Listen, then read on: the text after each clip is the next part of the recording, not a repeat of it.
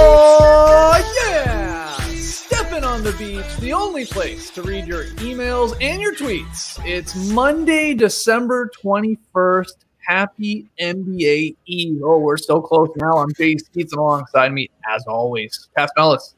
Hey, everybody. Hey, Cassie. We got the Bass Master ripping them lips, Trey Kirby. Hey, Hey, yo. The international man of mystery taking it to the max, Lee Ellis. Friend. Last but not least, making the magic happen is JD. Hello.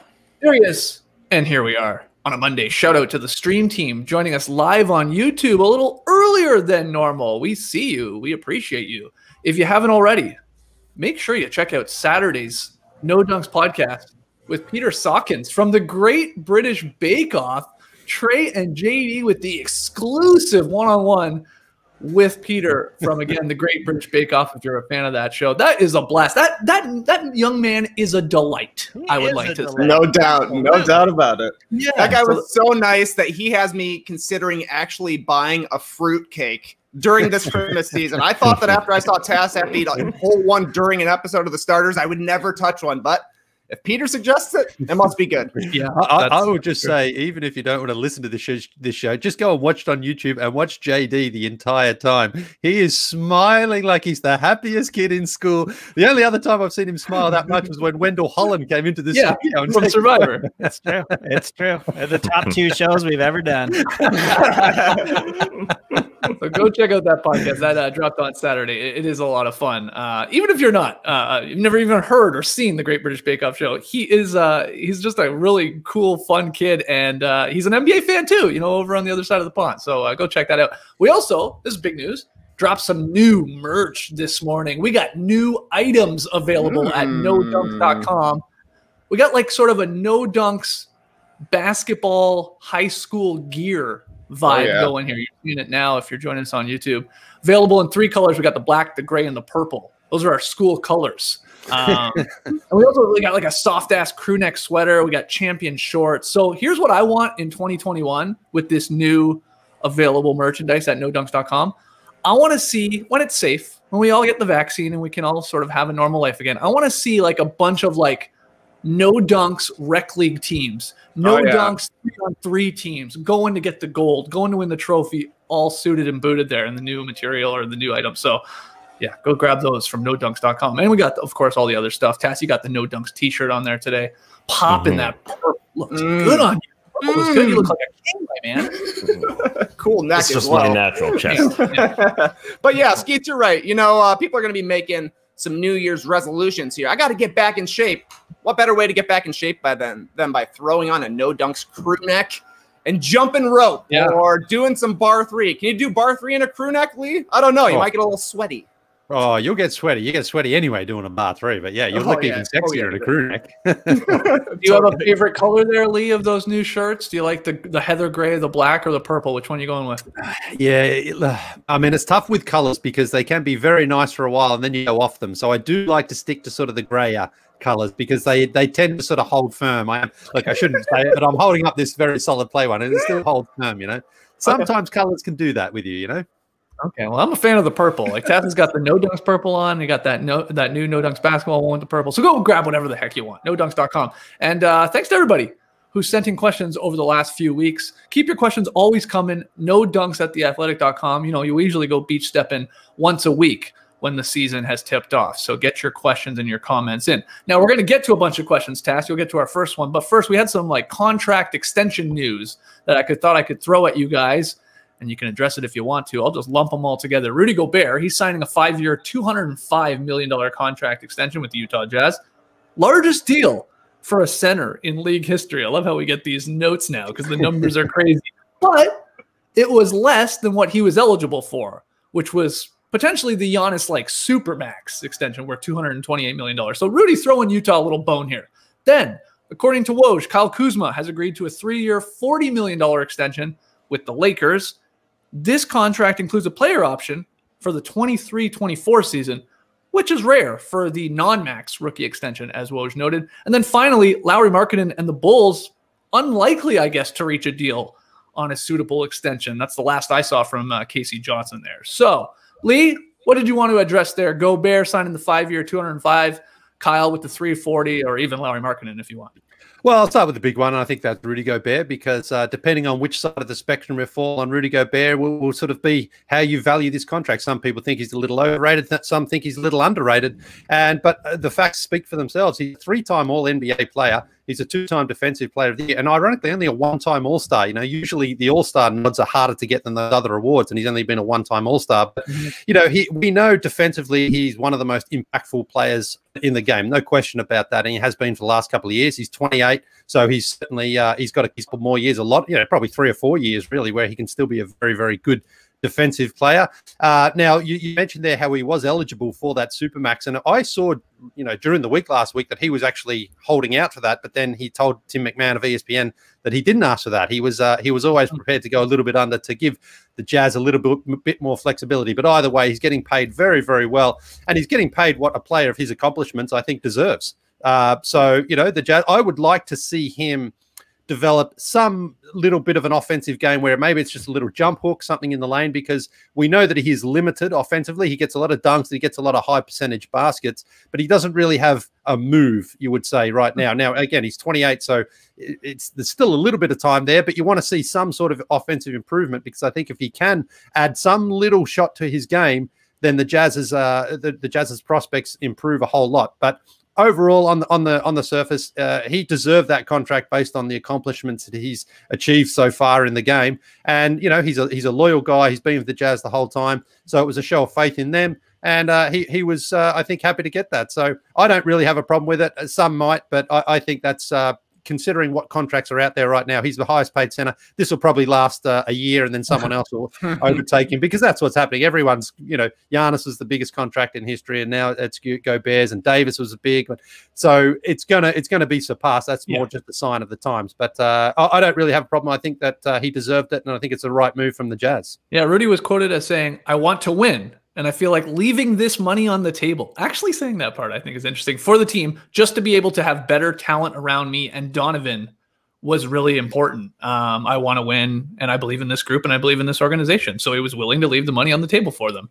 Again, a, little shocking. You don't hear players say that a lot, Trey. Um, he could have, of course, asked for the 228, and in the end, settles for 205. And I think, of course, that's good for the Jazz.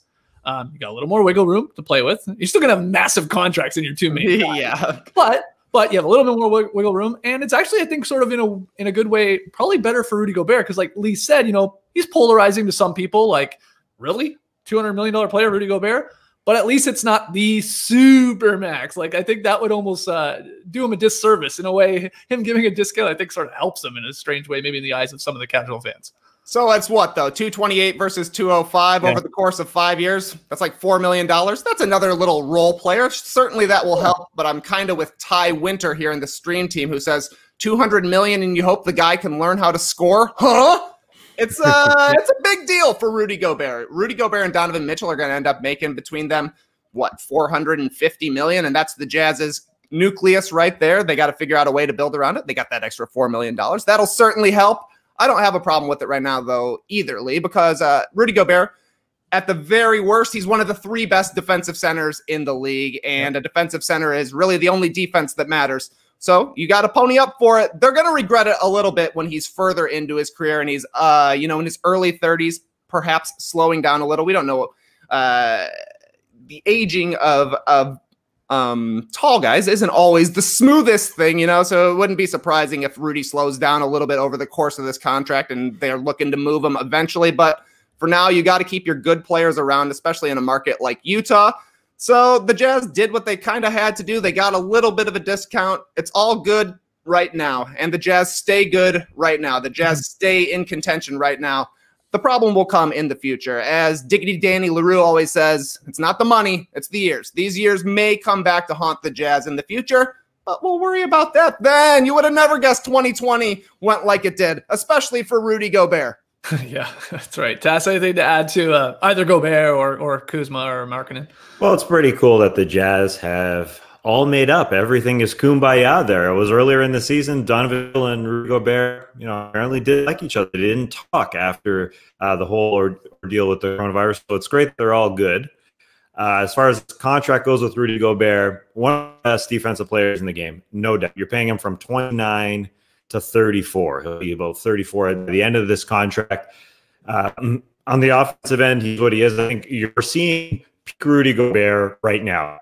Uh, by the end of this contract, it'll look bad if the Jazz aren't good. It'll look fine if the Jazz have gotten better around him because Rudy is Rudy. He's not gonna he's not gonna get any better at this point. He'll slow down at some point. But if Donovan Mitchell and Bojan Bogdanovic, who they definitely missed in the bubble, are good around him, then the contract will look palatable. But when you're paying a guy 40 mil, if the team is bad, then it's going to um, so it's really Donovan Mitchell continuing to be great, continuing to be awesome. That'll make this contract look better because we're we're seeing Pete Rudy right now, which is really really good on one end and and not so amazing on the other end. He's not a bucket on the other end, but everybody has to help him out on that end, and that'll tell you if this contract is good. And and listen, it, it is a good sign and it shows that people can make up and be friends again because you know, there's a great article by, by Tim McMahon on ESPN when this all went down after Rudy touched all the mics uh, and you know was sort of made the scapegoat for the coronavirus. Everything is good there. He's getting paid, left some money on the table. Now it's up to his teammates to uh, to his buds and to play really really well. Yeah, this always comes down to like what's the value in defense, right? Because nobody blinks when let's say inevitably like Trae Young gets paid a super max, right? Um, because he's maybe one of the best offensive players in the game, like growing into that is what I mean. But then we just said like Gobert is that defensively, uh, but you know we're hesitant to be like, oh, I, I, don't know. And you know Trey, we always have this debate a lot of the time. Like, is it that important? Is it really, really important to have a Gobert? Well, Keats, as you can tell, everybody actually agrees that offense is more important, which is why when these contracts come up, there's a question about it. But there's not for an offensive guy. Yeah, yeah. Like you're saying, Trae Young, when he gets the super duper max, everybody's gonna say, yeah. great move. That guy could be an MVP. Yeah, for sure. But uh, of course, yeah, we're like, oh, defensively, I don't know. Can you have that big of impact? And he, I mean, he has a hell of an impact, of course, on their defense. So, so maybe he's one of the rare guys where it is true, and that he's worth that uh, forty million per year. But let's hear from you guys. And uh, yeah, not much to add, I guess, to Kuzma and to uh, Lauri Markkanen, but they're out there. That's the news for you. So let's get to the questions, Tess. Championship bump is real for the Kuz. Congratulations to him. Hopefully, get eight in 2023. Uh, all right. First cue, we got some doozies here. We're talking beard in the first one. What up, boys? Man, I have a trade for y'all. A source close to James Harden recently said he'd be open to Philly or another contender besides the Nets.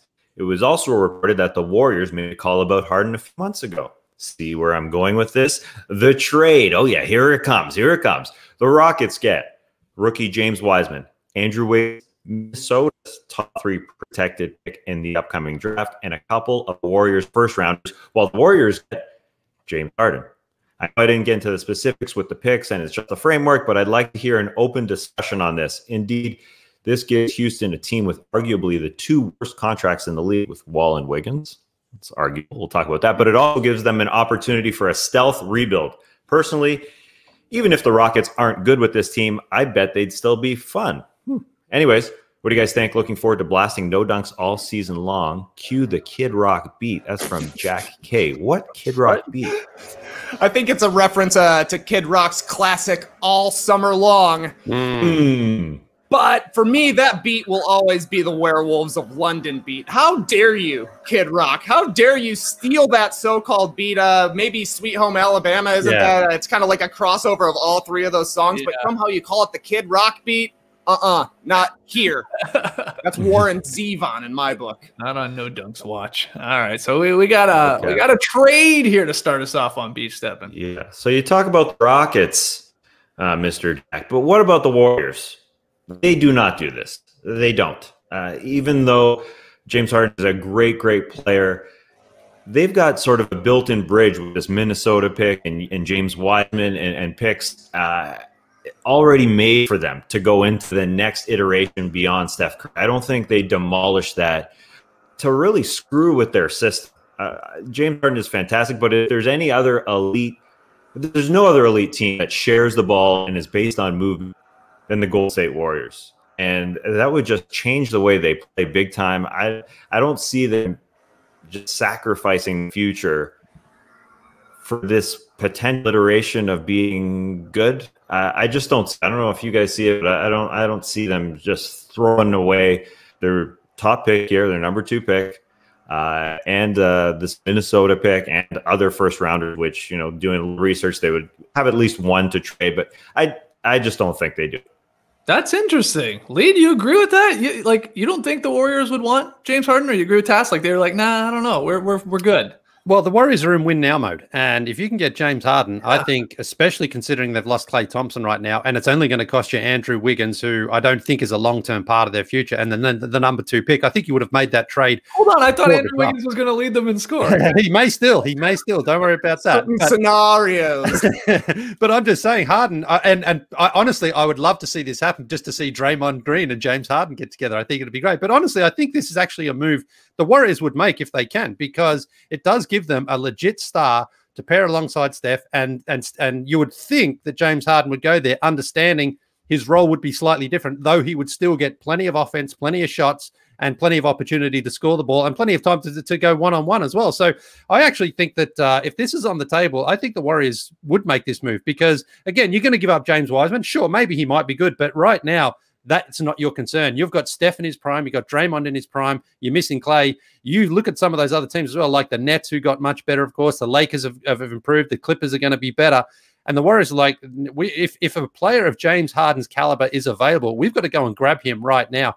The, the Warriors have shown that they're prepared to spend the money. I think they go and do this. I think they only traded for Andrew Wiggins, kind of like why they only signed D'Angelo Russell as an asset for a potential deal like this, you know, because they've got the contract now that can match. So I think uh, I think if the Warriors want it, they can make this happen. And uh, and if if they do, and if you're the Rockets, I think you would do it as well. I think you get that young pick, you get some future uh, uh draft picks with that, which they want, and then you're taking the flyer on Andrew Wiggins. Andrew Wiggins is going to be a hot potato for a while, mm-hmm. but why not? You know, if James Harden wants out and he's gone anyway, that's not a bad package in return. What do you think, Trey? Well, the Warriors would do this in a heartbeat, and we should hope that this trade never actually comes to fruition because we would be back where we were from 2017 to 2019, where the Warriors are the best team in the league with two MVPs and two All Stars alongside them. This would be a no brainer for the Warriors to get James Harden for a guy who has never played for him, and Andrew Wiggins, the guy we're talking about, is maybe the worst contract in the league. By the way, worst contract in the league. I hate to say it it might be Klay Thompson. He's signed to a monster deal right now, and he's going to be missing two straight seasons. We have no idea how he's going to come back. Everybody assumes he'll age nicely, but yeah. if the Warriors were offered James Harden for James Wiseman, come on, that's an easy move, and they would be the best team in the league right away. Yeah, and it's not just yeah, James Wiseman; it's their whole vault of assets. It's everything they have. Yeah, it's not just James Wiseman or Andrew Wiggins or the Minnesota. Yeah, but but you're plus they, Harden, they would have Harden for a two seasons after this. They've already got Steph Curry locked up. They've got Draymond locked up. They've got Klay locked up when he eventually does come back. I mean, and it's going to be fun playing those three guys together. Yeah, it, it's. I, I don't see them doing it. Well, they're not going to do it because I don't think that the Rockets would offer this. But I mean, what's really the difference? James Harden and Kevin Durant throwing them into that system. It would be the exact same. They're trying to win as many titles as they can mm. with Curry and Draymond Green. Adding an MVP that helps. Yeah, Kevin Durant's fine moving off the ball a little bit. James Harden is not, and that Kevin Durant was in his twenties when he when they made this trade, and Harden is not at this point.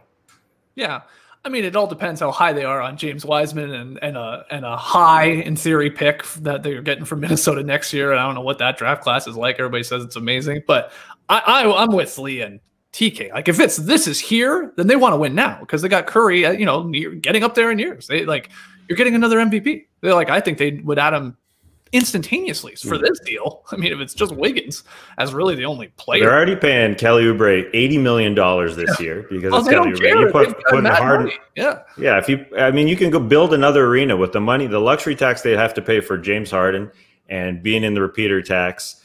You could literally build another Chase Center beside it with the money. That would be like a couple hundred million dollars. I'm not, I'm not a diggity Danny Leroux, but the money is ridiculous that they would be paying out for a, a fine team Good Yeah, thing but if Joe they Lacob is super rich. He could totally afford it. Yeah, anybody can afford it. Sure. Well, that's you don't you just don't sound that high on the of, of what would happen on the floor, Tess. Like that's what I'm getting from you here. Like you're not convinced Curry, Harden, and then Draymond with no Klay, like this year, let's say, is like an automatic like title contender, I guess, or winning it, right? That's it. You're you're, you're skeptical. Yeah, they they'd be up there. I don't I don't think they're a title contender. Hmm. I don't think. Uh, So let's hear from the people out there, the stream teamers, everybody listening. Tweet at us. Um, I look, it won't really matter this hypothetical trade because it's probably not going to happen. One, I don't think the Rockets would like to send Harden to a Western Conference team. I think they would prefer to send him to the East. And also, I'm convinced, guys. I don't know if you saw my tweet. I thought a Harden trade was happening for sure over this weekend, and then I caught myself. I said, no, it won't happen over the weekend. It'll happen as soon as we, we record the Beach Stepping podcast on Monday. As soon as we wrap up, say, all right, guys, we'll see you tomorrow. Getting ready for the season it'll happen you know 15 20 minutes you'll see the the shams or the woj tweet that harden's been traded to either the nets or the sixers or something like that so it's about to happen is what i'm getting at in about an hour james harden is going to be traded murphy's law lee i'm telling you man Uh-huh, uh-huh. It's true. It, it happens all the time. It happens, especially uh, those first couple of years at the starters when we're a little, a little bit earlier on NBA TV and the news would break late in the afternoon. Every time. It's infuriating but maybe we'll have an emergency podcast when harden gets traded uh, later today as i'm calling my shot here all right our next question Morning, fellas. As a lifelong fan of the NBA, I've always had a way of watching games. Growing up, my parents paid for cable TV, and as an adult, I also paid for cable. But I have cut the cord in the last couple of years here. Now it seems to be the only way to catch games is by League Pass, which is $35 plus per month, Hulu Live, which increased to $69 plus per month, nice, or Sling, $30 plus per month and then bundling more than one of those subscriptions if you also want to see local games. So my question is this, with the season being shorter, not all teams playing each other, well, not really technically true, but guys probably missing games due to COVID and rest and the rising price of watching games, is this the season to sit out viewing games and consume the NBA solely through podcasts and online highlights? Thanks for all the hours of entertainment, and I hope you guys are staying safe out there. That's from Eddie in Chicago. Uh, Eddie Winslow? Eddie Olczyk, I thought maybe. Uh, Could be Eddie Belfour? so an interesting question. Like Lee, you know, he's making the case, all this stuff. You start adding it up, trying to catch all these games, costs a fortune. Is is this the year that he should that Eddie should just listen to no dunks and watch the YouTube highlights? I don't know. What do you think? Yeah, spend your money on some no dunks, no dunks merch. That'd Yeah. be nice, Eddie. Um, but honestly, this would have to be the biggest fear for the NBA right now because of everything that's happened in the last couple of years, and especially this year with cord cutting. That's absolutely happening, and then COVID this year. People are, are, are trying to uh, save a little bit of money. People are feeling the pinch a little bit, Yep. but also this is something David Stern spoke about a couple of years ago. Uh, he said that the NBA is actually making it too easy for people to not have to watch entire games anymore because there is just so many highlights out there on YouTube and House of Highlights and Twitter and Facebook everywhere. And when you see something like, for example, LaMelo Ball had an incredible pass on the weekend, like that goes viral, everyone's watching that. But people aren't tuning into games for as long as they were in the past. And Ethan Strauss had a couple of articles over the summer uh, talking about this as well. How, how you know um, the actual TV viewership is changing, shifting because people consume games in a totally different way now than than we used to, you know, 15 or 20 years ago. Everyone's on their device, everyone's on their phone, but people don't necessarily watch games as they used to on TV because you can get the highlights and the things that people are talking about so easily. So, um, you know, it, it's definitely a concern. And I, uh, I, I'm not sure how the league can now sort of uh, put this genie back in a bottle either, because you only have to go to the YouTube channel on the NBA's page, and they have recaps of games of 10 minutes long. It's that condensed version, which is a great way to sort of watch a game if you missed it. Now, if you're a hardcore fan of a team like the Raptors or the Bulls or, or, or you guys, you, you know, a lot of people tend to watch their teams uh, play most of a game, but they're not necessarily watching full length games of other teams anymore. And I think that's something that has changed a lot. So um, this is a, this is a real issue uh, that the NBA is facing with, especially if they are making it harder for people to uh, watch games in, in terms of how they have to pay for them as well. Uh, and there was an, uh, Tim Cato had an article as well. There's a situation out there in Dallas where uh, local games are blacked out, and then the provider is uh, is in dispute with one of the other networks about Yeah. um, getting. It can be a mess in some of these local networks. And and the thing Yeah. is, the thing is, I think what you find, especially now considering there are so many choices of things to watch, if you lose a fan and they get taken up by something else, it could be hard to reel them back in, especially if their team isn't playing well and is not going to make the playoffs. So Mhm. um, this is this is definitely a big concern for the NBA, not just the NBA. I think I, I think across all leagues as well. So uh, Eddie, um, you know, I, I hope you can figure out a way to make it happen. But I can certainly understand if people are sort of tuning out a little bit this season as far as watching games live on TV. So here's what we do: we just take a 48 minute basketball game, we just make it 10 minutes, and you tell the guys, "Hey, only highlights." Okay, that's all you're doing out there. all right, no, no, no, no fundamental, no very solid plays. Get rid of all that crap. It's all highlights. Oh, Okay, let's go. let's For not 10 go minutes. That's the live game, we just put that up. Uh, yeah, but what do you think, uh, Trey, about Eddie's dilemma here? Uh, with you know, again, trying to package all these subscriptions, and then how do you watch your local game? All that stuff. As long as Eddie's listening to, to No Dunks, he's going to be happy this NBA season. That's the important thing. But you got to do it all. You got to listen to podcasts, you got to watch highlights, and you got to watch full games. You just miss things if you're not watching the full games. I don't know how he wants to do it.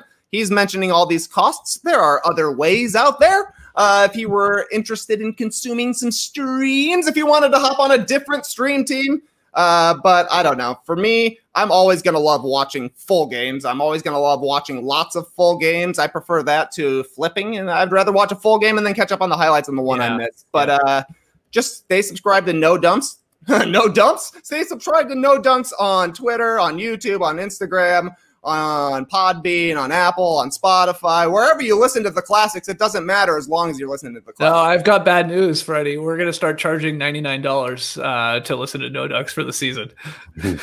Okay, Good for you, bad for Eddie. I'm kidding. I'm kidding. I know a guy. Yeah, Tass, what, what do you think about again Eddie's dilemma?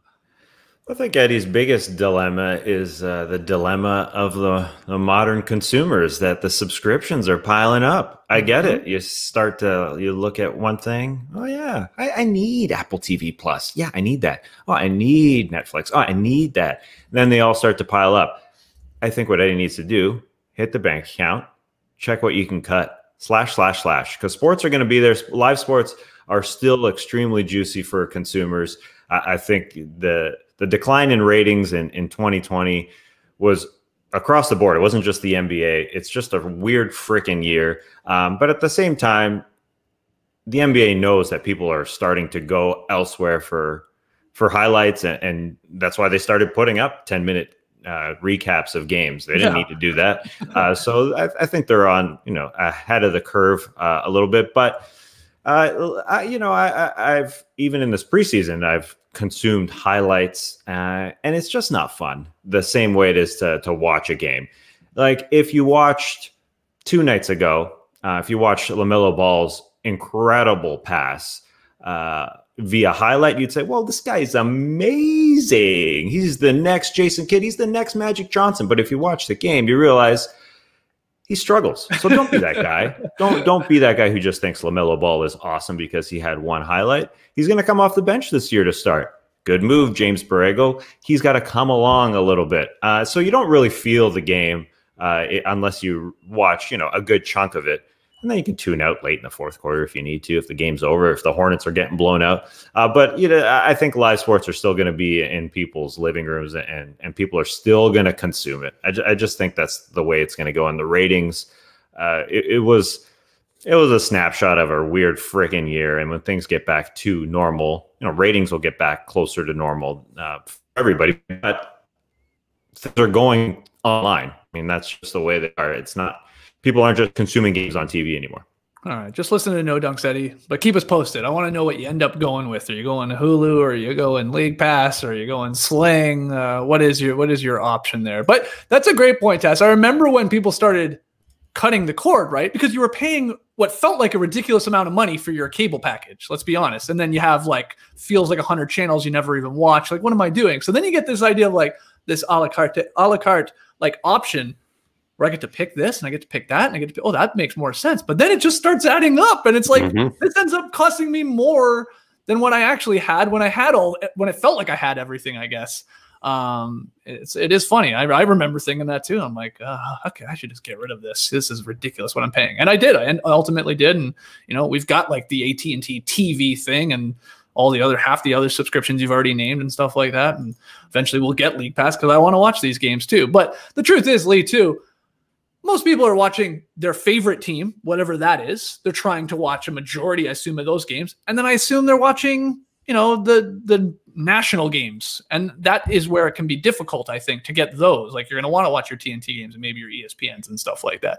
Otherwise, you're not watching like 20 teams nightly. You know what I mean? No, I know, but uh, the, the the thing is with the NBA is is the hardcore fans. Fine, we we're going to watch game after game Of after course. game, but you, you can't afford to lose the casual fan. Mhm. That's that's my point, and because there are so many other choices out there for people to watch, and uh, that that's what the NBA has to really make sure that they hold on to and and keep those people engaged as much as you can, because uh, that's the thing. If you go, it's uh, people just Well, find. but they've made the calculated decision, like, yeah, to keep them engaged means give them 10 minute highlights, I- I- give them a I- bunch yeah. of Twitter highlights, give them all that. Yeah. And because they're not going to watch a Hornets uh, full game. you Yeah. know? No, I, I get that, and that's the thing. That's why the NBA saw what other people were doing. You know, we used to watch Ximo Pierto on uh, on YouTube. Remember, Right. he used to put up those things, and they had hundreds of thousands of views Yeah. immediately. So the NBA realized, okay, we've got to get that. But the, the the point I was making earlier is that this is what David Stern was saying: is the NBA at the when Adam Silver first came in, he was like, we love all this stuff out there because it's Yeah. great promotion for the game. But ultimately, as well, it kind of backfired in a way because people then weren't necessarily tuning in to Right. the actual NBA product themselves to watch it, and, Right, that, and right. that- so that was costing them money. Yeah. Speaking the whole- of costing them money, uh, listen, I'm worried about Matty Austin, as Ty Winter brings up here on the stream team. Ta- too much media to consume. Long live yeah. Matty O. Matty O is probably paying a subscription to everything. he's got LinkedIn Plus or LinkedIn Connected or whatever that is. Uh, you know, he's paying for everything. I, I, I want. I worry about his bank account. Cut the subscriptions, everybody. One-time fees, that's fine. One-time fee for a no dunk shirt, that's cool. But watch out for those subscriptions. I, I heard Yeah. uh, I heard Matty O single handedly kept Quibi open for two more weeks than it should have been. Yeah. all of it. yeah, yeah, that's the thing though with the subscriptions. Like we've got Netflix and Amazon Prime, and yesterday watching Home Alone two with the boys, you know, that's another four bucks on top of it, or you can buy it for ten bucks. Like I thought, you know, it's like free with Amazon Prime, but once you get into Amazon Prime, you then got to pay I know. a- again for everything. It's like it's like okay, so it's not really you know included in Amazon Prime, is it? You know. You're always you're always just got to pay an extra few bucks here and there. That's that's. I always thought it was ridiculous when you would go to the video rental store and they'd be like, "Hey, you gotta pay for that movie that you're going to be borrowing." yeah, but I mean, you know, I thought yeah, it, they should have a few freebies in there. and, Well, uh, yeah, it would be like the equivalent of like I got a blockbuster card and I get ten free rentals with it at, at first or something like that. yeah. You used to get the card. Remember, you used to. Well, we used to get the card in, in a blockbuster, and yeah, your, your tenth movie was free. But uh, That's right. That's Yeah. true. All right, next one here. No Donka. Inspired by the fact that Ben Simmons and Joel Embiid are now living together, you guys nailed it with your idea for a new reality TV series, NBA Sleepover. Yeah, we talked about this rumor they were living together. Written and directed by Matt Austin, this raucous affair will feature odd couples and friends from around the association. Look out for all new episodes featuring Indiana's current and former head coaches, mates with mates, the two JDs starring James Dolan and No Dunks' very own Jason Doyle, or our favorite, the Holiday Coaches Special, Christmas Eve with the Steves, hosted by Steve Kerby, father of Trey. Who would star in your fave episode of NBA Sleepover, and what would you name this episode? Burn up blunts and pies, sausage, sauces. That is from longtime fans Stav and Fee in Sydney. So NBA Sleepover, heck of an idea. Yeah, it's great. Great. Five bucks idea. an episode. Let's do it. Yeah, JD, what do you think about that? Yeah, we could get that up on all the streaming services. NBA Sleepover. You're a fan? I'm Okay. a fan, except I'm not a fan of my episode. I have to be with uh, James Dolan. Dolan. You guys can jam out. You on the drums, him on. Yeah. Uh, I don't know. Does he play guitar? I guess he does. Maybe I don't know. Fake plays I'd, it. I I'd rather eat glass. Okay. All right. So we won't be seeing the two JDs. We'll not be streaming on Hulu for three ninety nine in the foreseeable future. Uh, I got a couple suggestions. I I, I really like uh, I like theirs, but One, I don't know who specifically. Uh, maybe Shawn Kemp because he just opened um, a marijuana dispensary, I guess, up in Seattle. But I just want to call it karaoke toki, and where we break out the karaoke machine and we smoke some weed and we sing some songs. I just think it's a fun name. I can't believe that's not a real show already. Karaoke toki, uh, hosted by Shawn Kemp. A um, couple others in honor of the Nigerian big man who's no longer with us, but Truth or Yinka Dare. Um, bit of a force, but uh, you play a little truth or dare. uh, shout out to Matt Austin. Sometimes you got to come up with the name before you come That's up with the idea. That's right. But this one, this is the best one. NBA Sleepover. I want a show where we build indoor forts with pillows and blankets and the furniture, and we just call it Dort's Forts. that one Oh, would be a good good. episode. So that's what I got. I don't know if you guys got anything else. That's pretty good. Uh, the only one I would add, Skeets, I want to call my show Jimmy and James. We put Jimmy Butler and James Harden in a house together, and it's a real, it's a fun odd couple story because Harden always wants to party. Jimmy always wants to work hard and be the man. James says, let's go to the strip club. Jimmy says, let's go to the coffee shop. James says, let's go shopping. Jimmy says, let's go fishing.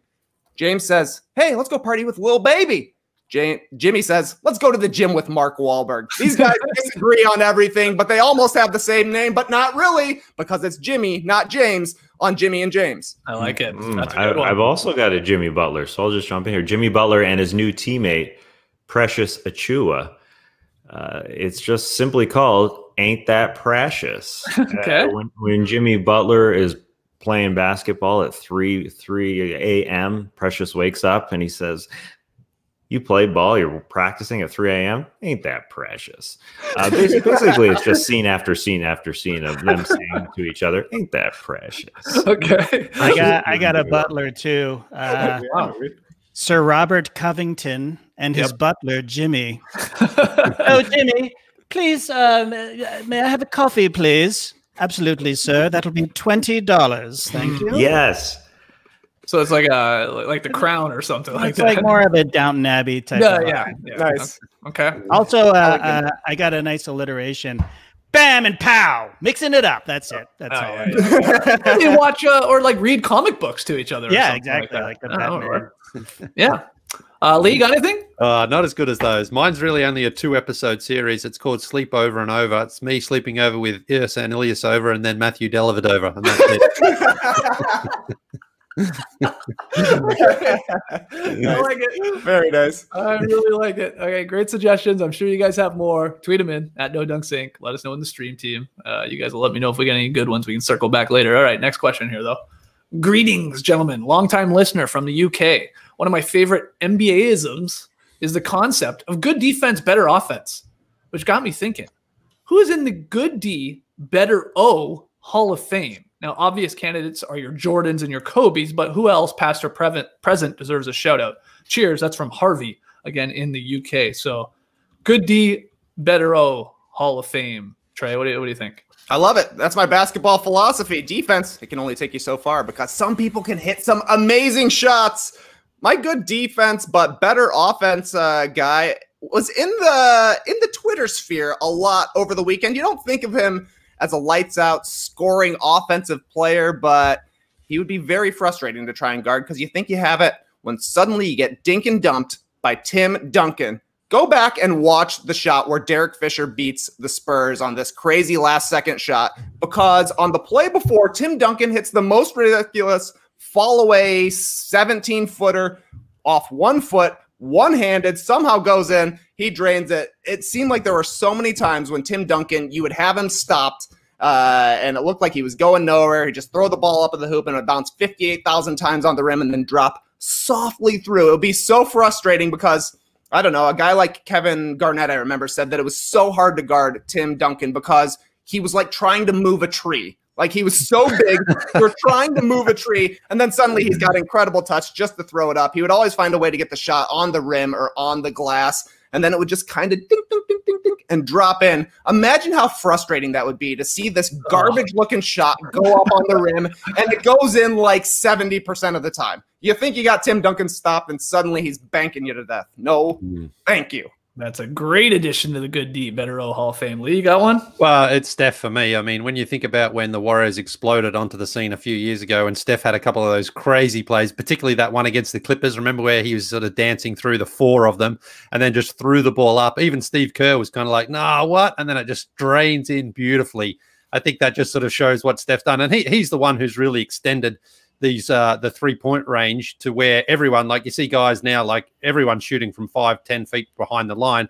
And i think steph was the first one to really make that a uh, a regular shot in his rotation. You know he would come down and, and again in those 15 and 16 seasons where steph was just pulling up from like that far out and people were like nah, that's a bad shot. And he was just making them regularly and now, uh, and now, and now you see, you know, now you see Damian Lillard just before a game from half court shooting them as if he's just shooting basically free throws. Mhm. So, um, you know, I think I think that's uh, that's something that's really changed a lot of, of in the NBA in the last you know five to six years, largely because of uh, Steph Curry. Mm-hmm. Would by the way, good D better O is one of my favorite things to uh, yell when playing pickup basketball. Like I like when someone is trying to like lock up Kerby, let's say, and I'm on Kerby's team, and they like it's good defense, and someone on their team will be like, good defense, good defense, and then you score on them. I love dropping a better O, better offense.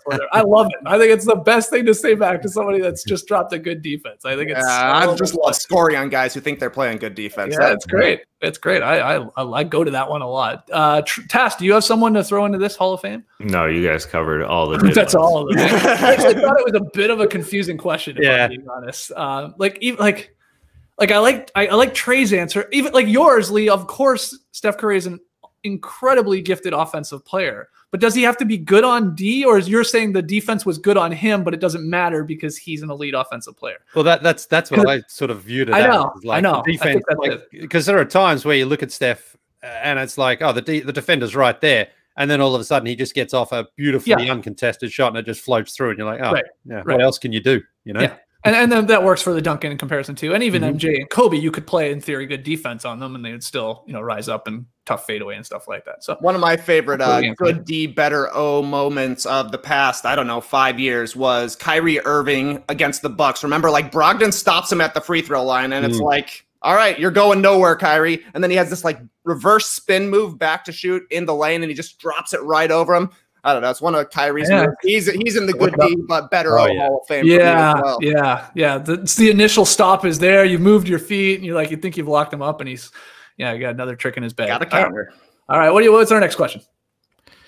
What's up, no punks? I was thinking about how Louisville almost had the Toronto Raptors play their home games at the Yum Center. I was really excited when I heard about this because I felt once it got going, the NBA would realize Louisville would be a great place for basketball. We have such a rich culture thanks to our two great college teams, University of Louisville and University of Kentucky. I believe once they saw how successful it was, it would have to put us first in line in the future to maybe have our own team. I do understand why they decided not to play here, but it made me think what is a time you wish something had come to fruition because you knew it would have been successful, but it ultimately never happened? Turntables, sausage pies. Awesome. That's from Zach in Louisville, Kentucky. Yes, there was a quick chatter about the Raptors not playing in Tampa, but playing in Louisville, Kentucky. And I get what you're saying, Zach. A lot of college ball down here. Uh, I'm taking it off the court here for my something that came to nearly came to fruition. Oh man, uh, for me, Danielle, my wife had a, uh, bakery once upon a time. It's called Moon Milk Bar, Milk and Cookie Shop. Um, and around this time of year, it got me thinking. Uh, we used to buy eggnog and then just repackage it and sell it. Uh, didn't make it at all. Eggnog is hard to make. It's hard to make good. Usually, people are disgusted by the idea of eggnog at all. Uh, but we used to get this one that was absolutely amazing. It was fresh, it was delicious, and I thought Danielle should make it into an ice cream somehow.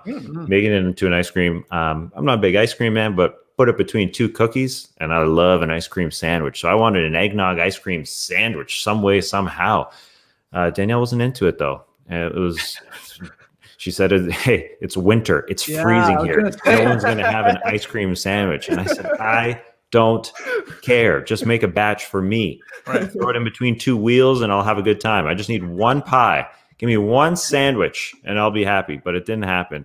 It is weird. I don't know if you ever had a good eggnog, but it's so different than crappy eggnog uh, because crappy eggnog is the standard stuff nobody cares about. It's in a carton. It's been sitting on shelves. It's disgusting. But when it's fresh from a farm, it's it's life changing. It is good. It is really, really, really, really, really good. Was it legal what you were doing? Can you buy a product and then just Flip it it? I'm just curious. Like, is that? That's what everybody does. yeah, I guess so. Yeah, yeah. Yeah. You- no, Everywhere. you're not wrong. I mean, Trader Think about- Joe's like is all. Yeah, that's not. They're not making it. They're just buying it and then repackaging it as Trader Joe's cookies or whatever. I guess so. I never thought of it.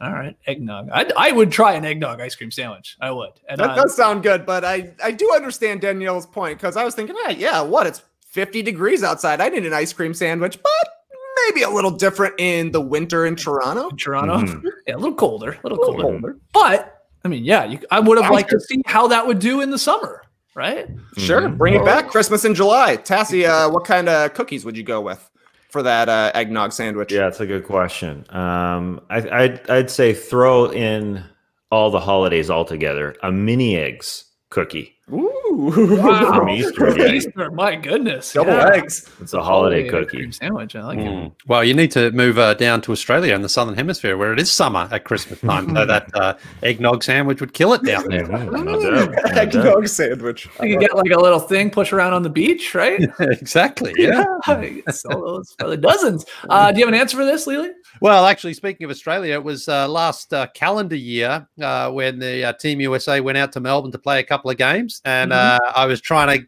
get the whole starters crew out there to do some live shows, or at least Right. one live show, and uh, and unfortunately, uh, that sort of uh, that those plans fell apart when uh, our contract wasn't renewed, um, so we weren't going out. I went out there anyway myself, but being out there in Melbourne, and uh, and I was like, okay, this is interesting. Now that I'm here, how would I feel differently about it? Because I remember saying to you guys we would have a big, big live show. No question, we would we would get a big audience there for it. Yeah. And now that when I was back there, I was like, I wonder if if if I was overestimating that or not.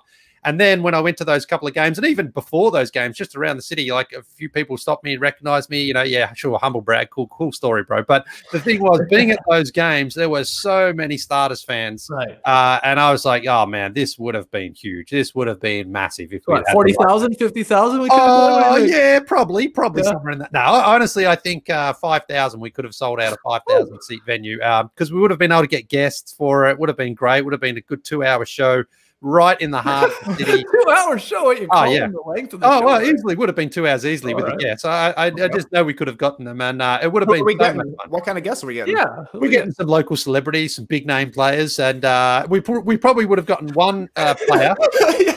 Do you want to Which ones though? well, well, I don't, look, I don't want to go into names right now, but I've got them all picked ready to go because I'm not giving up on this idea. Okay. I'm actually not giving up on this idea. I do think it can still happen because at, at first I was like, oh man, now that the games have gone, it's not going to happen. I'm like, hang on a minute.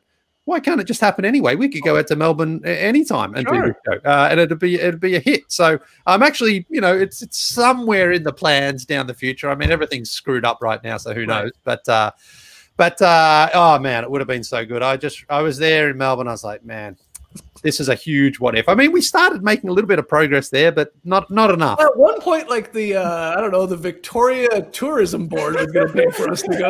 Well, yeah, on the That's table. what, we, that's what we were working on. Yeah, yeah, yeah, yeah. It was going to be great. You're going to have a great Come family. trip Qantas, yourself. step up. Let's go. Yeah, Qantas or Virgin Australia. It doesn't really matter. I mean, anyone could have gotten on board there, but would have been great to take uh, those of us who have kids to take the kids out for a trip as well. Spend three weeks out in Australia. You would have had a ball. Three weeks. All right. Yeah. Quite a trip.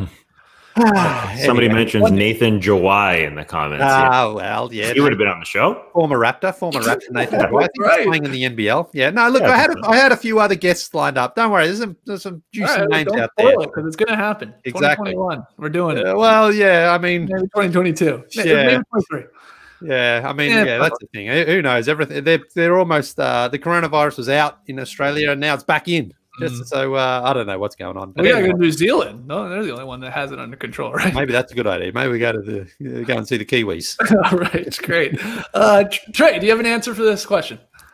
There was a time when we were doing the starters where it really seemed like we were going to get to play four on four versus inside the NBA. Yes. We would have beat them, guaranteed. I think you can lock that one in. Yes, they are three former NBA players. but we're in our athletic primes. not really, We're not. we're closer. We're a little closer to our athletic Sure. primes, and I have a feeling that we probably would have taken it a little more seriously Yeah. uh, than Shaq and Kenny and Charles. I think Ernie would have 100% brought it.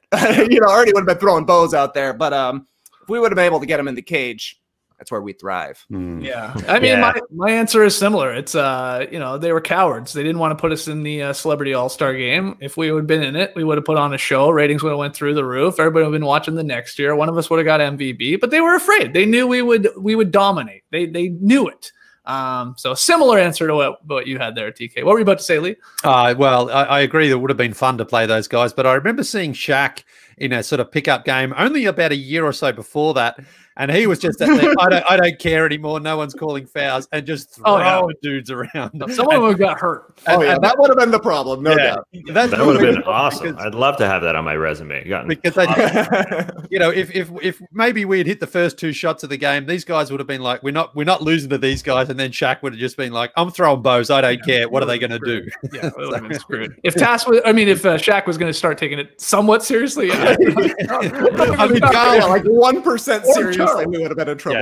Yeah, yeah. Like Charles, we see he, you know, he's he's got a bit of a limp these days. He's not as uh, active as he was. Kenny's still in pretty good shape and can still shoot. Yeah. But uh, Shaq was the one I was just worried, like someone just going to get a, you know, smack in the nose, or and, and Shaq won't care. He won't No. care. no, you're playing hoops, and, and fair enough, right? Yeah. If the challenge was made, then then let's let's play physical ball. Yeah, we would have Especially out been in the cage that like uh, the support stanchion for the hoop is very close uh, Yeah. to the actual rim. Somebody would have definitely gotten uh, clocked. Ah, too bad. Maybe one day we could still make that game happen. You never know. All right. Our next question here. Hello, no dunks. This is 15 year old Thomas from Lombard, Illinois. Oh, yeah. Currently, though, currently in Lima, Peru, Hmm. writing in. What a connection. Yeah, I know. Who who is this person? Um, towards the end of last season, I realized that you had done an incredible feat over 350 classics within about a calendar year, something never witnessed before by humankind. I wanted to commemorate this accomplishment through a drawing. I know I'm not an amazing drawer, but I feel like I was able to capture the raw strangeness of No Dunks in 1920 on this piece of paper. For all the stream teamers or anybody watching later on YouTube, we're showing Thomas's uh, incredible artwork here. Uh, so detailed. It's got all of us on there, all these like little inside jokes. Um, I think it's extremely well done. Uh, I, I love this. So thank you for sending it in. We posted uh, to our socials too if you uh, want to go check that out. Anyway, he has My buddy. Grish is so jealous of this. Yeah, yeah, He would have loved to come up with this collage. yeah. He could not. no chance he could have done this. Um. Anyway, when you when have you guys been completely in awe of someone else's achievement, and have you ever tried to honor those glorious triumphs? Triumphs, excuse me, in any way. Again, that's from Thomas. Thank you so much for that artwork there. That that is fantastic stuff. Um, Tess, you got an answer for this? Tomas, you are the man. Yeah, he's been a, a long time fan here, a young 15. But He's only fifteen. How's he Yeah. been? Since he was listening in the five. womb. Yeah. yeah, in the womb. Uh, thank you so much for emailing that in. Uh, for me, uh, I realized this week that the Greek Olympics, or sorry, the Greek baseball team has a Twitter account. I, I didn't think that Greece played baseball anymore. They had an Olympics baseball team in 2004. Right. And, and because they were the host country, they had to put a team out there. Yeah. So they got second generation Americans uh, that you know weren't on the American team, but but could could jump over to the Greek team because they had some Greek ties. So I noticed, yeah, Kevin Euclid, Ziggy Star Fox, and the team stream coming up with names there. People like that played. But this week I realized they had a Twitter account and they're selling hats. Hmm. A Greek baseball hat, and I almost made the purchase. Oh, You're seeing nice- it right now. Wow, it's a yeah. sweet hat. It is. Yeah, definitely. Yeah, it's a solid blue, but basically everything I buy now is solid blue. And I, and I, I would just be buying a hat I wouldn't wear. So I didn't make the purchase, although I probably will one day. And now it's in my head. I'm definitely going to buy it. Uh, you gotta get Um, yeah, I can rock that. But what I also wanted to show you, everybody on the team Yeah, stream, was baby. this stepping on the beach hat, one of one. Yep. Thanks to our man Oscar Pope back at Turner, who made these uh, made these prototypes. They never hit the shelves, um, but I do have a one of one. I think uh, Lee also has a hat of himself with Mhm. his two thumbs that never made the uh, the shelves. But this stepping on the beach, baby, it matches the That looks colors good. Yeah, Yeah, almost. sure. Yeah, yeah, What we're a vibing here. We're got going pinking. On. Well, Trey had the uh, the pocket dogs too, which I think Right. we should actually uh, bring back at some point. I, I love that little pocket dog uh, logo for sure. Yeah, there's what I don't know. We made six or seven different hats, and there's maybe 15 total of them. And I don't actually remember who has most of them. Now I'll see it show up on one of our friends' Instagrams every once in a while. I'll be like, oh yeah, the starters finals hat. Nice. Nice, yeah, yeah. Great and Gordian's got a pocket dog hat. I know. Oh, that. yeah, oh yeah. I got a shirtless picture of him rocking a pocket dog. A pocket dog and brownies. Thanks for supporting the team. Okay, uh, Trey, do you have an answer for this question? Hey, if you win a reality show and you like no dunks, we're putting you on the show to talk about it because we like reality TV. We already mentioned it off the top. Wendell from Survivor had him on the show. Awesome guest, really fun podcast. Same with Peter on the Great British Bake Off. We just got to figure out what other no dunks fans happen to be on reality shows. Is there Hmm. anybody out there who's uh you know got a great voice on The Voice? Leo talked to you about winning The Voice. Yeah. Yes, I would. I would love to. Uh, I haven't really been watching it too much lately. Although a friend of mine, you guys might remember, there was a guy who came into our studio one time, uh, and he brought in a crate of beer. You remember Yes, that? yes. His brother finished third in The Voice last year, last The, season.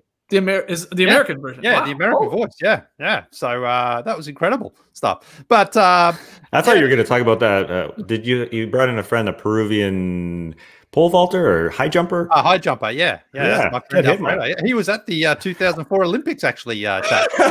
Believe it or not, I was there. You were there. He was Yeah. there. What a, what, a, what, a, what a great trio that is. the, the cool story uh, just keeps getting Yeah, I know. cooler Hey, and cooler. any Olympic athlete, you're awesome. yeah, I, I, I. I remember that, you know, as well, we're talking about the uh, Greek baseball team. I was always like, that. that's just so dumb to make that because there's no tradition, there's no history, no one cares. Even if they were to win gold medal, it'd be like, oh, okay, great. We've we've put a whole 12 months of work into this effort and it's won, and, and we're going to forget about it because it's just not a national thing. You know what I mean? Like, the Yeah, but it's still going on now. They still have Story in Greece if the Greek baseball team for Yeah, the first time ever playing people would be like, We practiced for a year and we won the gold medal, and we're dropping it. But that's what I'm saying. Most people, like most Greeks, would be like, "Oh, we won baseball. I didn't even know we had a team. Oh, great. We can." It's Wow, not a it real. might inspire more people to take up the sport or get interested in the sport. Yeah, it's still all- happening now. It's like if America took up cricket. You would Wow. Say, See, that's uh, Oh, America oh, should wow, take yeah. up cricket Well. because uh, they would do very well at it, actually. Okay, well, And that's why that's, that's a part of the reason why 2020 cricket has been invented because it's a shorter version of the game, which Hmm. should appeal to Americans. A lot of home runs, we call them sixes in cricket in Yeah. 2020 cricket, and, uh, and it's a way of compacting the game because five days people say, "Oh my god, five days! How do you watch that?" Even though you watch baseball 160 games a year, oh my god, right. give it a rest. Uh, but this 2020 is a lot more fun, and that's another thing we could do out in Australia. We go to a 2020 cricket match. You guys would have a ball. Yeah, but I heard uh, what's happening is a lot of people are just watching the cricket highlights now, and uh, they're following Hey. Twitter. And uh, Ethan You know uh, Sherwood Strauss has an article coming out about it later today. Well, uh, funny you say that because there is like an eight to ten minute recap after each day's play uh, on YouTube, and it is great. Yeah, it's great to watch. I hope cricket comes up in the U.S. so they could give Greece their baseball players back. Come on, Greeks, get back, get back. Actually, the Greeks have a, a, a team. Surprisingly, thanks to the Twitter account, I figured I found out, and a women's softball team. They play sports. they don't have a cricket team. Though. So how, how the hell did we get off on this? Dan? what were you about to say there, Lee? Um, I don't remember. What was now. your answer? Oh, my answer, my answer. Oh, yeah, no, no, no. My answer was actually like uh, Peter was incredible because I remember when you guys started talking about him uh, and referenced how he had sent in a, a cake to the old starter show and that he was on this show. Right. and it was just so awesome that he actually went on to win this uh win this show which was incredible and then and then when you had the uh, podcast there with him uh it was what a humble young beautiful man. I mean yeah, what, what a great guy. I mean i haven't got anything For to sure. do to inspire myself to uh, acknowledge his achievement there but i was just like this is incredible. A 20 year old kid uh who's won a big big show like that because that show the amount of uh, engagement we had on that show was incredible. People watch that more than they want to they want to hear us talk about basketball. They want to so uh, I just thought that was uh, that was awesome to watch. In a weird way, do you feel like you won also the Great British Bake Off, Lee, because you inspired Peter to go out there and, and cake his face off? Well, not not not for that reason, but more just like Oh, it's like when we had I did. Wendell. No, but like I was going for Wendell in Survivor. It was kind of like that's my guy. I'm going for him, you know. And uh, he fell short, but to see Peter go all the way was just like it was like yes, we did it, we did. it. I didn't watch a single episode, but we did it. No, for sure. Well, I was really impressed when uh, Trey. I think you asked him, like, were you listening to No Dunks while you're in the tent or while you're, you know, there on location doing the show? And he said, yeah. So, uh, he- like in real time, we, you know, we were encouraging him to go out and win that show. very, very excited. So, uh, congrats again, Peter. Go listen to that podcast. It's a, it's a lot of fun. He is. Uh, what did you call him? I called him delightful. What did you call him uh, there, Leland? Ah, beautiful young man. Beautiful. Yeah. all true, by the way. It's all true. All right, a couple more here. Yeah, couple more. Hey, no dunkers. We just had to replace one of the toilets in our home. All right. Looking at the brand new sparkling clean porcelain throne, I knew it was finally time. Oh, I had to do a leap. Yeah, my main concern in the past was hygiene. Something about it didn't feel right. But with the replacement of the toilet and the floors around it, hmm, and behind being scrubbed clean as can be, my excuses had run out. That's a good point. Yeah. I settled in and did my business. Honestly, not a fan. but I'm still glad I did it for the culture. What's something that you had to do at least once just to say that you did it? Turned around, stream of piss, squatting from EJ in New York. An awesome email. I love the honestly not a fan. I tried to mount the toilet like a weirdo and take a pee facing it, and not for me. Not for me. Uh, but that's a that's a great great question too. I, I this is funny because you know I didn't plan on this, but we're talking a lot of like uh, you know Greek ba- uh, baseball and Greek cricket and all the Greek sports. But mine is trying the olive challenge, right? Though, like that idea task. Correct me if I'm wrong. Isn't there something? It's like, you know, if you eat seven olives, like you you will be committed to. You, you'll be team olive. I'm not an olive fan. Is what I'm getting at here. But someone always told me like you eat seven of them. By the eighth one, you're in. You're on the olive train.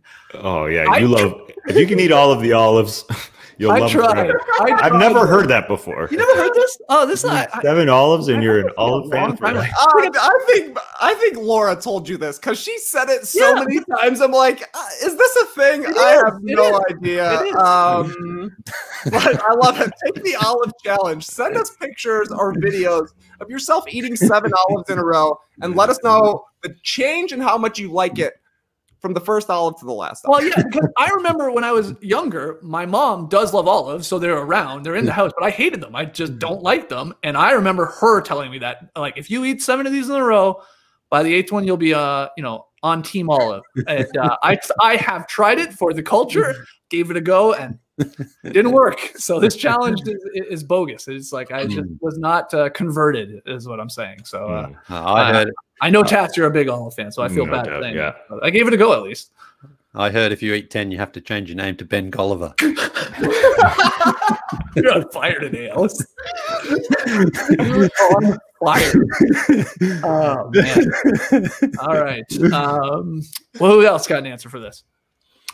Um, yeah, well, I so uh, when I when I uh, when I first moved to Toronto, um, you know, I wanted to do all these Canadian things that I'd never done before, or North American things. And so in the summer, went to baseball and, and stuff like that was great. And then in the winter, it was like everyone said, you've got to go to a Buffalo Bills game. That's a real Toronto thing to do. And I was like, okay, great. So me and my mate Benny went out there.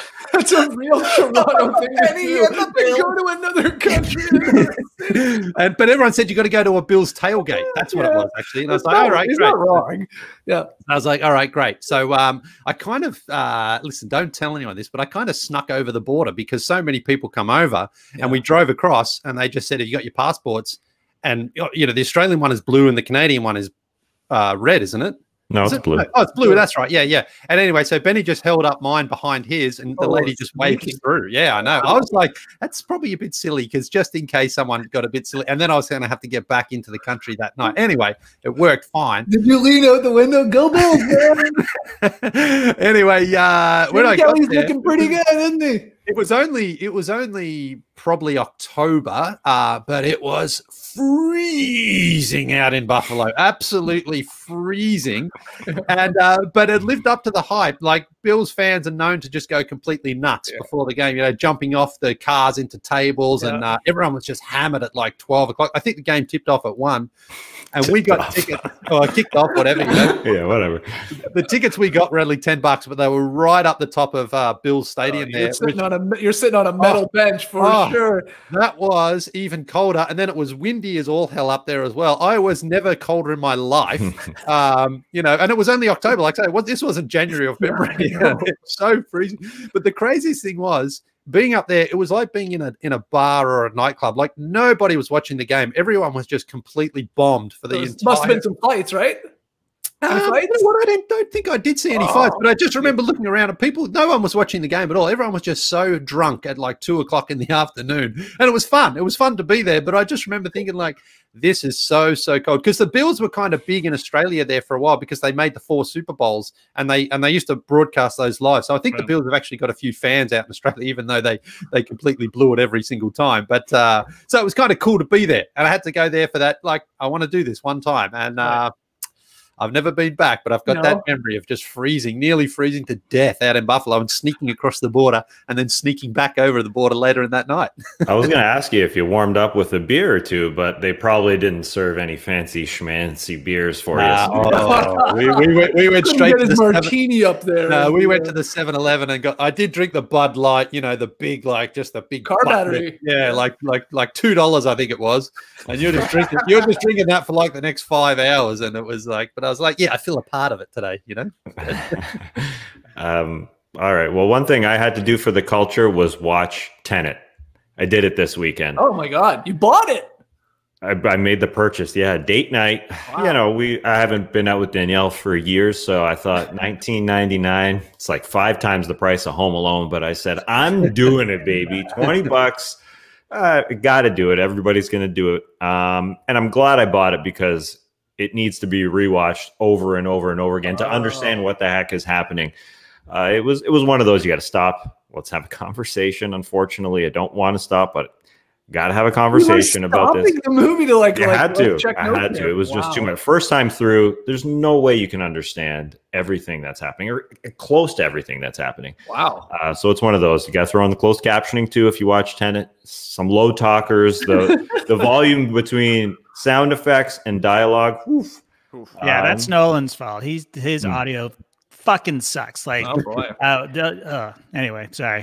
There were some struggles. Yeah, there th- that was a struggle, no doubt. We, I, I noticed we had it up so high um, because yeah, you couldn't couldn't make out the Hear the dialogue. dialogue. And you're waking up the baby. Yeah, waking up a kid. But no, actually, it was good. I'm glad. Thank you, Christopher Nolan. I'm glad we can start to finally pump some sound into this house. The kids will be fine. uh, I had it up at 100. I had the, uh, the surround sound blasting. The kids, they were sleeping. They were So, so enjoying the sound effects. here, here's the question: Did you like it? Is it good? In yeah, it's it's good. Okay. It is good. And you will uh, watch it again, You know, it's one of those. Yeah. Yeah, I'll have to watch it again. have to watch I mean, again. Danielle is more of the uh, rewatch 16 times to understand what's Uh, going on. I'll probably give it one more time, and if I don't get it, uh, like I'm, I don't want to go read about it. It's tough. It's a tough. It's a tough So, watch. so the movie ended, and you, and it's safe to say you're like, uh, um, uh, I, I don't know. Uh, Sort Well- of have an idea, but I don't really know. Is that what you're No doing? spoiler. No spoiler alerts. No, but, no, please don't. Uh, yeah, I won't say anything. I won't say Okay. anything. It's yeah. You're it's- confused. there's- You're there's a lot. confused. Okay. There's a lot going on. It's All right. it's Inception, but five times that. I'd Oh say. wow, got to go deeper. Way deeper. I already hate it. I already hate it. You It's didn't tough. like Inception, tough. Petey? I didn't love it. Okay. Okay. It was fine, I guess. Uh, all right. I mean, I enjoy Inception. I think it's fine. But if this is like a souped up Inception, yeah, I can see why that would be a little confusing for sure. Yeah. Um, all right, Tenet, you bought it. Hello, oh, man. I'm just gonna have to get over to Tas's house to watch Tenet here soon. I'm not Can't even rent it. large. No, you can't. So I, mean, I don't think you can 5th. rent it till January January. Yeah, yeah. right, right, right, right. Mhm. Um, Trey, you had an answer for this question. Yeah, we've done a lot of pick 'em payoffs over the years. So we're always trying to come up with ideas. And one idea we had that we tried and never used was a shock collar. Skeets and I both gave this a shot in the starter's office not too long ago. Uh, take a look, Skeet. Here we go. Ooh, yeah. I think uh, we started it on a three. A little interesting on the arm. Whoa. but uh, JD here saying, hey, that's three. You want to go to four? I'll go to four. And I'll just take a quick little shot here on the arm. And it hurt a little too much to the point where we're like, probably not the greatest idea to put a full grown man with a dog collar shocking him on the neck on TV. Um, Would have been amazing though. would have been amazing though. One of my Andrew- biggest regrets. Yeah, that would have been a really like so good funny. pick 'em payoff because like this is and like that video too. You and I know Trey when it's coming. Yeah. Like we have an Yeah. idea. Like all right, go. You imagine you're sitting like we're hosting the starters or whatever, and like you have no clue who's pressing the button and when they're gonna press it. That would be petrifying. Um, Well, And it was Tas a and I owe a pick 'em payoff. Uh, I don't know who's still got shot collars around, JD. I still got it. That'd be awesome if it had like a Wi-Fi interface. Yeah. We could control it from there while we're sitting in our houses. oh my god. Okay, one of these days we'll we'll, we'll do One it. of these days. And uh, yeah, I guess we. Uh, I assume we're continuing the pick 'em payoffs, right? The season starts. it does not feel like it. Oh man. Ah, all right. Pick 'em payoffs will be back. Whoa boys will likely be back. All the good fun will be back in your lives here soon with the No Dunks Daily Show. But one more question before we wrap up this Beach Steppin'. Uh, AO No Dunks crew, longtime listener, second time emailer from across the pond in London, UK. I know you like those sweet short messages, but you'll have to bear with me on this one for a little bit. After discovering you during your days as the starters, I was immediately hooked and spent my time listening to every one of your episodes from the very start. I finally got all caught up, and then you were on the move again to sign your next big free agent deal. My social media game is whack, and so I lost track of you. When I rediscovered you, I had another catalog to work my way through. Plus, you kept churning out that awesome content at high speed, making it even harder for me to catch up. I refused to give up though. And the other day, I got myself up to date and have once more listened to every one of your episodes. You're completely worth it for not only being the best basketball content out there, but also the best podcast in the world. That's very kind of you. Anyway, after that ramble, I do have an NBA related question. Heading into another season with a short turnaround and everything else that will make this season an even bigger grind than usual, what's one thing you want a player, a team, or anybody else to persevere with this season? Keep up your GOAT status, respect others, kindness for all, education reform. That's from Darren, who has now listened to every single starters episode and every single no dunks episode. Wow, that's a lot of shows right there. I mean, how many did we do as a starters? Over a thousand, right? 13, 30. 14. Oh, it oh, was my God, was it that high? So yeah, and we done. Wow. Okay, you've listened to a lot of episodes there, Darren. Respect. So had to get your question in here. I'll keep my answer short and simple. I want to see a healthy Steph Curry for the entire year. I, I, you know, whether or not James Harden gets traded to the Warriors, I want to see Curry, and if he can, and if he can sort of take with no Klay, of course, on the Warriors, uh, to still an elite level in the Western Conference, and uh, you know, he's just a blast to watch. It's a, it's a no brainer pick for me. I just want a healthy Steph Curry. I want a healthy all guys like Kevin Durant and all that, but especially him, because the league's a lot more fun when Curry's, you know, dropping bombs from 30 feet and going for 30 and 40 and, and has those games where he hits 10 threes and looks unstoppable. It's just a it's it's a lot, it's a blast. So healthy Steph Curry for me, Trey. What do you got? That's a good one. He uh, caught fire earlier in the preseason. Fun to watch. Yes. Always fun to watch when this guy is on fire. Something I hope continues to happen through the season is Kyrie Irving saging the arenas when he goes to play. He just returned to Boston. There was uh, footage of him walking around the court before the game uh, during his pregame warmups, just saging around. They asked Kevin Durant after. He's like, "Yeah, he's probably going to do it in every single arena he plays for. We love his energy, so I guess you just got to keep saging it. Might start it around here. Sage the bedroom before we start recording a classic. It's a guaranteed classic. Another thing I want to continue is the leaf blowers. You know, they were huge during season one. We had a little bit earlier start today. We got a little uh, background leaf blowing noise. So keep up, guys. You know, it's going to be tough. We're coming into winter here.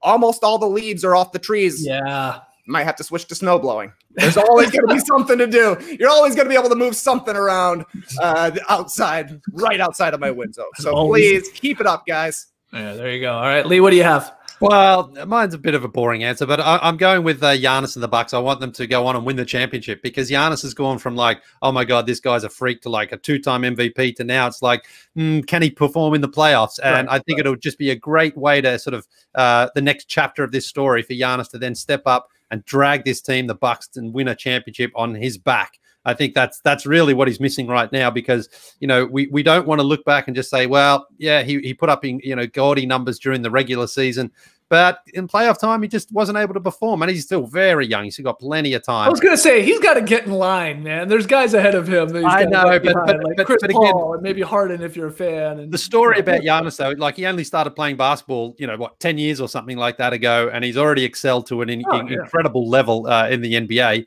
And uh, I think, I think, though, now he's just got a few targets on his back. And people are kind of like, nah, maybe this guy isn't quite, uh, isn't quite as dominant as those numbers suggest. So I would love to see him finish it off, win a championship championship for the Bucks. Uh, and I think that'd just be a great story. So I hope it can happen this year. It'd be great because uh, I think he deserves it. Okay, Tas, what do you have? Uh, mine relates to the Bucks a little bit. Jabari Parker, who was drafted by the Bucks in 2014, he was a number two pick, and ever since uh, we had him on the show and we gave him a cake that had number two Buckaroo listed on it, uh, written on it, I should say, after uh, he was picked. Uh, you know, I've been a fan of his. He stayed after the show and signed everyone's autograph uh, requests, and I've been in his corner. He's played six seasons in the NBA now. Uh, he's on the Sacramento Kings. Um, six seasons, same as his dad, Sonny Parker, played in the league. I didn't oh. realize his dad played at the league, but uh, now his Sonny. Jabari is 26 and he's a free agent at the end of this season there's playing time to be had in Sacramento. Um, so hopefully he gets out there and and is as effective as he was with the Hawks last year. He was decent with the Hawks, uh, so hopefully he can find his way um, because he's a talented dude. Uh, mm-hmm. you know, I like guys who bring out the sky hook. You can call him Kareem Abdul-Jabari Parker. He's uh, he plays kind of fun out there, so hopefully he finds his way. Great picks. Let's hear from you guys out there as well in the stream team. Tweet at us at No Dunks Inc. Let's call it there. That's uh, enough of today's Beach Steppin'. We will be back tomorrow on Tuesday before the NBA tips off on Tuesday night. Again, still sounds weird to say out loud. Gonna have a special guest joining us on Tuesday. So make sure you subscribe to No Dunks wherever you listen to us.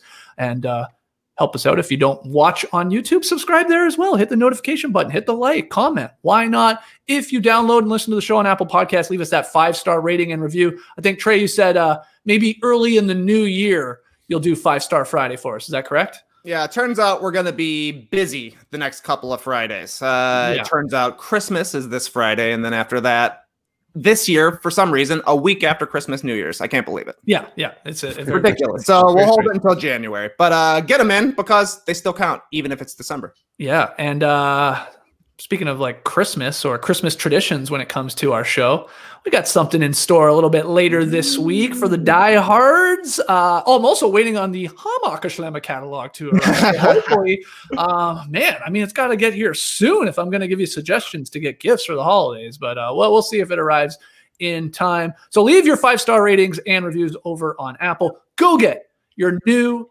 No Dunks merchandise. It's the no dunks basketball high school team. Let's be honest, guys. You got the gray, you got the purple, you got the black. We got champion shorts. We got the crew neck sweatshirt. It's lovely. So go to nodunks.com to get the new items or get the old items. Get all the items. Get them all, guys. All you right. heard it here first. Have a great time. Turn up. Love you guys. Awesome. Thank you for joining us. And one of biggest life's one of life's biggest dilemmas or quandaries is uh, did Oliver Miller like olives. Embrace the day, people.